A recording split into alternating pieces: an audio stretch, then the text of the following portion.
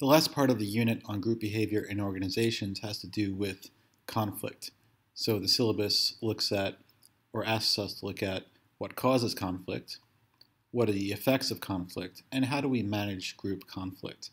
Now, if you look at the syllabus here, it only mentions one name in this part of the unit. So we're not going to spend a lot of time talking about what causes conflict and what are the effects because there's really no prescribed research associated with it. So when you talk about conflict, you could break it down usually into four categories, which is internal or external, individual versus groups. So you have intrapersonal, which is that internal conflict, interpersonal, person to person conflict, intragroup, and intergroup. Now, for the purpose of organizations, I imagine the internal conflict is not going to be as important as the conflict that exists between people. So, what kind of things cause conflict? Well, it could be things that are personal or things that are organizational. Um, so you could, you know, brainstorm your own ideas for what might cause conflict, or you may look at maybe one of the textbooks, which talks about things like maybe it's caused by the vulnerability of a worker. Maybe he feels like his job is on the line. Other possibilities include things like maybe having limited resources uh, that can be shared between workers, or perhaps um, some sort of superiority that or somebody assumes they have superiority over somebody else. So, you know, you could just use common sense here when talking about what might cause a conflict within an organization. So, of course, a company or an organization is going to try its best to reduce conflict, uh, but keep in mind the earlier part of the unit that talked about the Tuckman model of stage development or group development, which deals with um, forming, storming, norming, performing, and adjourning. Uh, it is key that people actually do have some level of conflict to work out their differences and to come to some sort of resolution on an issue. So maybe conflict is not something to completely avoid. But if the conflict becomes overwhelming, it could uh, interfere with workplace morale and overall productivity. So, what are some of the ways we could overcome this conflict? Well, according to Thomas, 1976, there are five strategies we could use for overcoming conflict. And I like to remember these easily as CCC AA.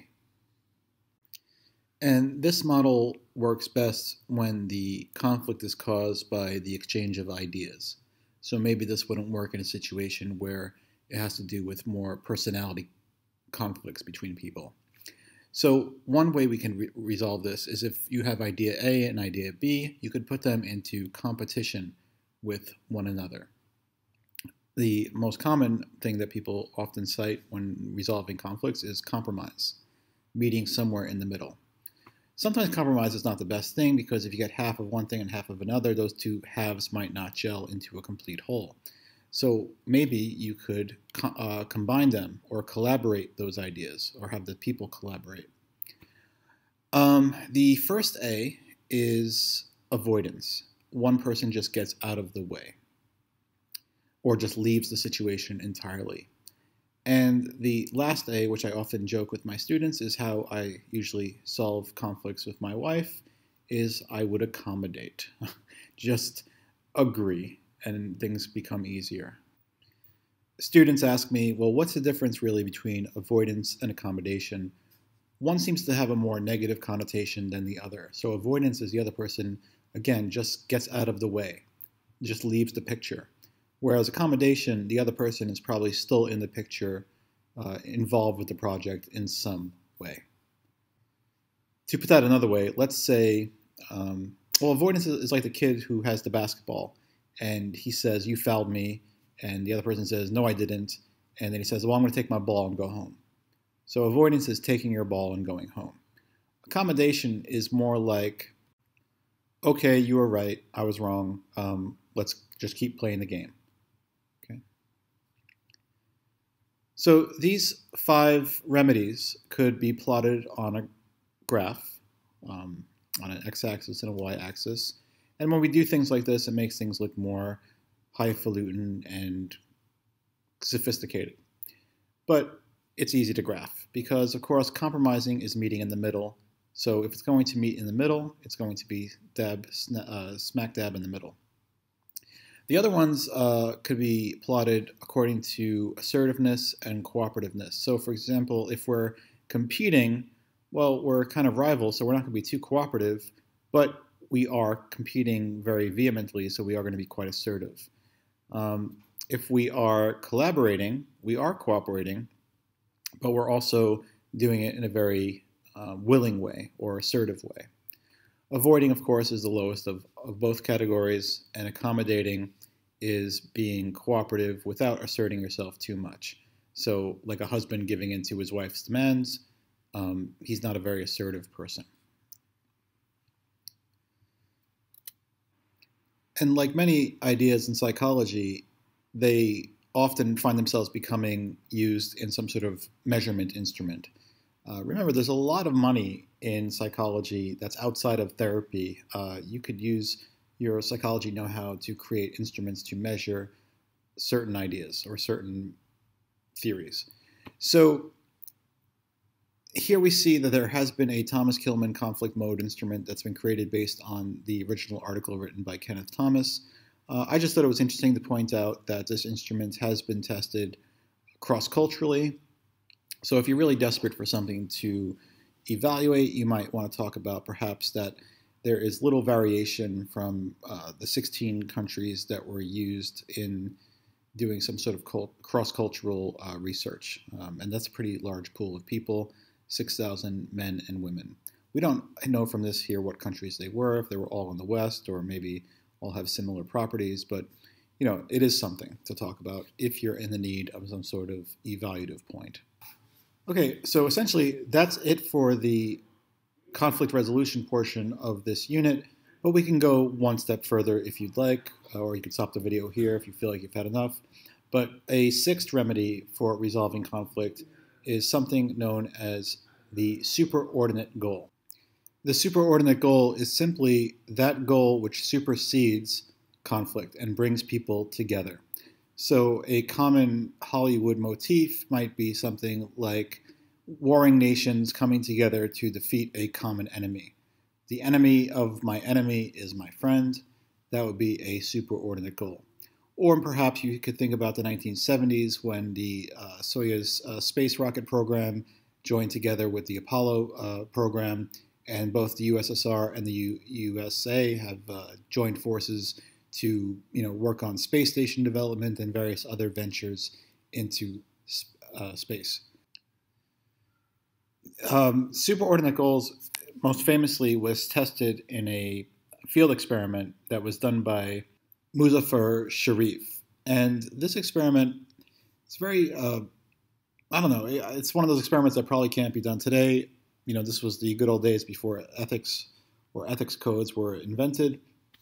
You took a group of scouts or boys into a summer camp setting, and the boys have very similar qualities. Um, they're all the same um, class, the same religion, and they're all white and you just give them a minor difference. You have them broken up according to which cabin they're staying in, and they don't actually interact directly except for a few moments.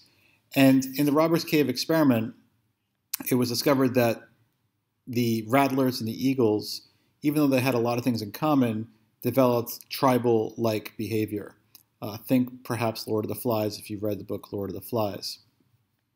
And if you want to pause this and read it, you may. But essentially, what happened is the camp counselors, who were actually the experimenters, would put the boys in competition with each other and monitor if fights would break out.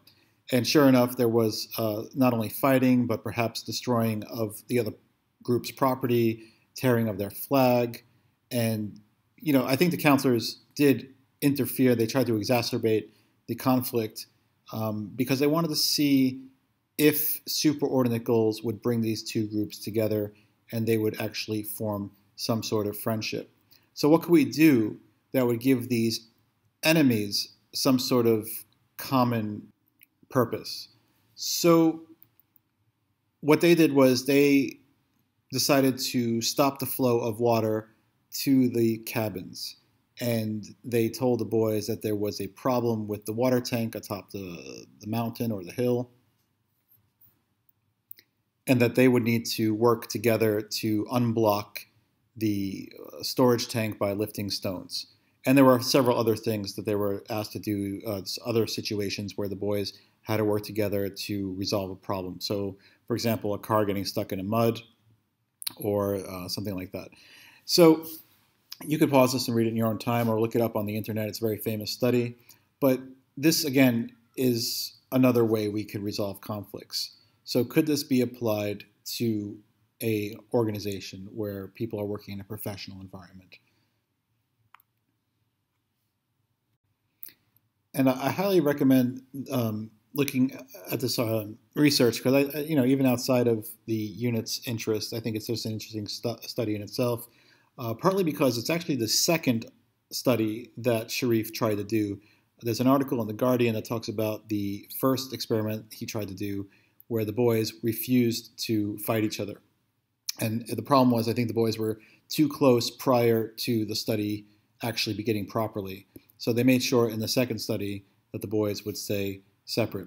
I should mention that in the Robbers Cave experiment, the boys from different groups eventually formed uh, rather deep friendships. And as a matter of fact, I think the number was 65% of the long lasting friendships were intergroup friendships, not intra-group friendships. So that's just more data if you need some sort of data to prove that superordinate goals might be something that brings people together.